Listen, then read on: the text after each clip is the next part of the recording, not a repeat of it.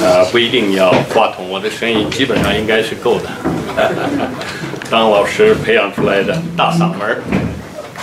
呃，首先呢，非常感谢韦石老师、国勋、陈伯公、呃夏明老师等等各位呃朋友，能够给这么一个机会，呃，让我再借这么一个平台，代表维吾尔人，代表东突厥斯坦两千万发不出声音来的维吾尔人，呃，说几句话，表达一下我们的心愿。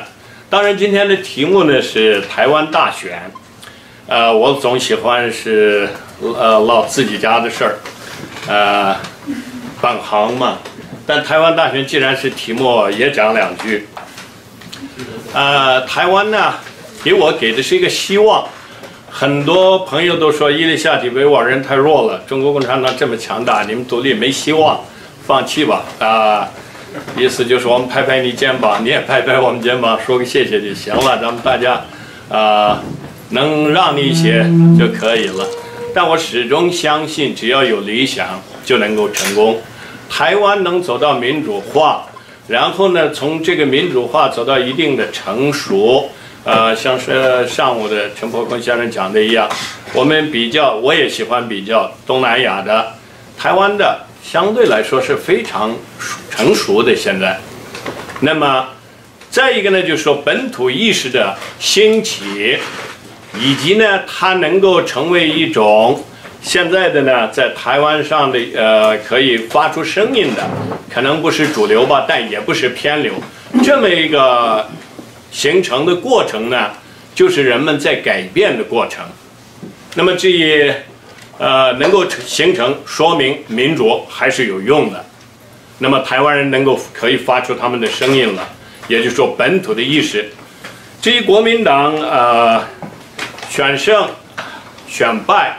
我记得大概是二零零八年吧，有一次在法拉盛也开过一次有关台湾的这么一个会议。我当时我的回答可能有些人呃呃觉得不是很好听。我说我是隔岸观火，赢啊输啊和我没有太大的关系。呃，特别是国民党，因为国民党在统治我们东突厥斯坦的时候，他也屠杀了不少人，包括盛世才这个屠夫呢，在台湾的时候。包括一些国民党人要求在台湾审判他，因为他也把国民党人也杀了。但是蒋介石说他为中国保留了六分之一的土地，他的功劳远大于他的罪过，所以就把他最后也就是说没有算这笔账。所以，呃，国民党政府如果说他还认为他是中华民国的话，欠维吾尔人一个道歉，至少，至少，呃。咱们讲完台湾的问题，那我就讲一点东突厥斯坦，因为这个和台湾也有关系。现在台湾呢，这种本土意识的兴起和共产党的政策是有必然联系的，包括香港的这种呃现在的这种本土意识的兴起也和这个有关。维吾尔人当然在过去上个世纪，我们建立了两次共和国：三三年的东突厥斯坦伊斯兰共和国，四四年的东突厥斯坦共和国。那么我们一直是希望独立，因为我们在文化上各个方面都不一样。我刚才开玩笑说，有人说我们是兄弟，我老爱说那个话。如果说我和一个别人说兄弟的话，要么是我妈有问题，要么是你妈有问题。我们俩长相这么大的差别，怎么可能是兄弟呢？我们是平等的朋友。我有很多很多汉族朋友，我愿意做朋友，我也很尊重我的这些朋友在座的。但是呢，我愿意做朋友，但不想做呃兄弟，呃，就说这是一个开玩笑。那么东突厥斯坦呢，一呃，所以维吾尔人也好，当地的土著民族呢，包括其他的也都是要求独立的。这个在四四年的独立运动中已经表现出来了。在四四年的独立运动中，有西波骑兵连，有蒙古骑兵团，在东突厥斯坦共和国的下属。还有回民骑兵团，就说各个民族都是联合起来的。还有一点，很多人说当时维吾尔人杀了很多的汉人，在伊犁呢，当时政权东突厥斯坦共和国建立以后，第三天枪毙了两个维吾尔人。这两个维吾尔人呢，就是因为侵犯了汉人的财产在伊犁。那么很快军事法庭判决，然后呢，当时还办了一个中文的《伊犁日报》，也就是一样是尊重别人的权利的，并不是一个种族主义的政权。所以我们有这个。呃，近几年呢，共产党呢，到最后把维吾尔人里头一部分一些抱对过中国、对共产党抱希望的人呢，也都推到了我们这边。这个是最典型的例子，一个是伊利哈木托赫蒂老师，啊，大家都知道，他是我维吾尔人的民族英雄，我很崇拜他。他一直提出来的什么呢？和比达赖喇嘛还先进，啊。他说：“我承认中华人民共和国的宪法全部，你只兑现你的民族区域自治法里头承诺的，就这点他都不一样。他被判了无期徒刑。我今天还说，共产党是最大的民族分裂分子，因为什么呢？同样话，汉人说了最多两年、三年，呃，但是伊利哈米一说呢，无期徒刑，就是给维族人的待遇呢是完全不一样的。”呃，我个人的观点一直认为，共产党在我们那儿实行的是占领政策，根本就不是他所谓的什么，呃，中国的一部分等等。呃，在这里头呢，还有一个问题，很多朋友今天也有人在问这个恐怖的问题。每一个民族，就像刚才这个藏人讲的一样。都有各种不一样的人，呃，各种思想的，有能够接受和平对话的，也有一些呢要采取极端的。但是在维吾尔人这一面呢，发生的这些事情，我们大多数都搞不清。共产党只是一面之词。啊，很多人说在新疆啊或者东突厥斯坦，我们的说法，你们滥杀无辜。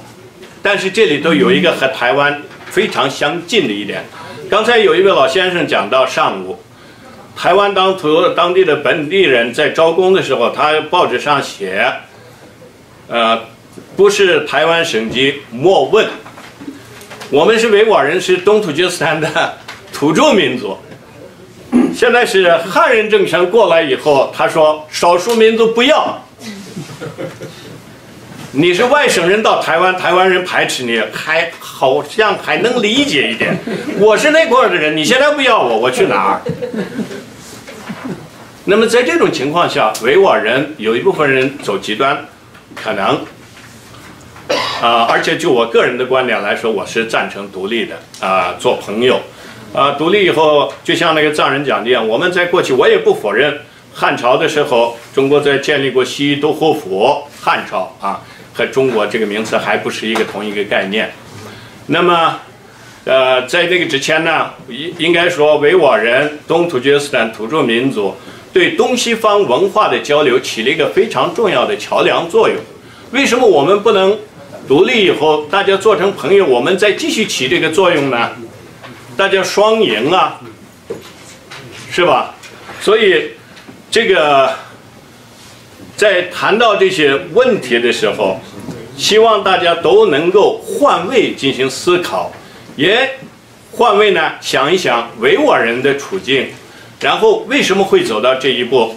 比如说，就上个星期，南方航空公司有一个维吾尔飞行员，这个飞行员在广州，他到机场以后呢，出来的时候，这个飞行员呢，他把飞机架过来了，飞过来了。把他拉到派出所，那个机场公安审问了将近一个小时，极其侮辱性的，他拍了照，现在放到 YouTube 了。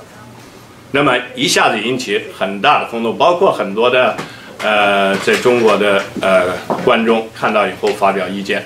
在这个之前呢，呃，一个月以前，还有一个叫库尔班江塞麦提的，这个呢，现在满世界跑，在说共产党的民族团结好。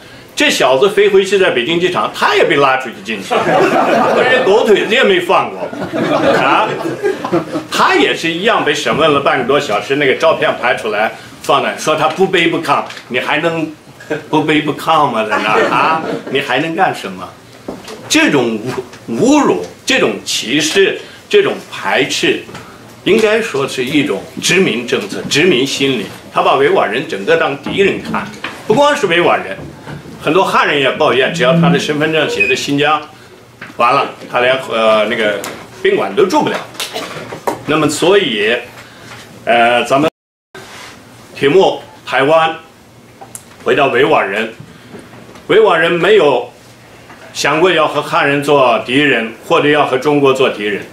我们愿意做朋友。过去我们曾经做过朋友，进行过文化交流，互相都有过影响。为什么我们不能够在以后呢，建立同样的一种友谊的关系，一种平等的关系？啊，就像韦舍老师讲的一样，大家互相尊重。啊，至于现在的共产党，我不知道我们能做什么。这是铁铁板一块儿，好像一点变化都没有。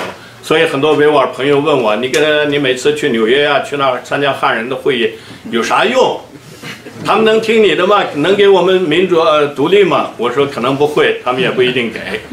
但是中国实现了民主，我至少可以这个讲台搬到北京去讲，我可以搬到乌鲁木齐讲。现在我在北京不说北京吧，在乌鲁木齐说个东突厥斯坦，还得在我家地窖里说。我刚开始我就进监狱了，所以。”我还是赞成这种对话，然后呢，先实现民主，就像台湾一样，选出呃这种让老百姓自己做主。当民做主的时候，我相信官员就来听，然后呢，老百姓也是可以改变的。中国的呃状况，呃，张晶女士她上午讲的时候，我想到了另一件事，正好插进来补充。呃，作为一个证据，张晶呃女士的，我去台湾两年以前，我说我最后有一个那个就是什么科技大学的老师石建玉，他说伊丽夏提你想去哪？我说我想去故宫看一看，那个地方有国民党带过来的很多的我们东土厥斯坦的东西。结果我们到故宫，一进去人山人海，然后进到故宫里面以后呢，有很多女小女孩拿这个牌子。请小声讲话，只要有人声音稍微大一点。我进去会想好好的看一看。你想故宫、博物馆、博物院这样的东西，你需要静静的、慢慢的去欣赏。结果我是被人流推进，从这个门推到那个门，然后又推到那个门。最后我给史建一说：“我说你们已经被大陆侵占了，你这连个故宫博物院我都不能安心的看。”我说算了，不看了，我就走掉了。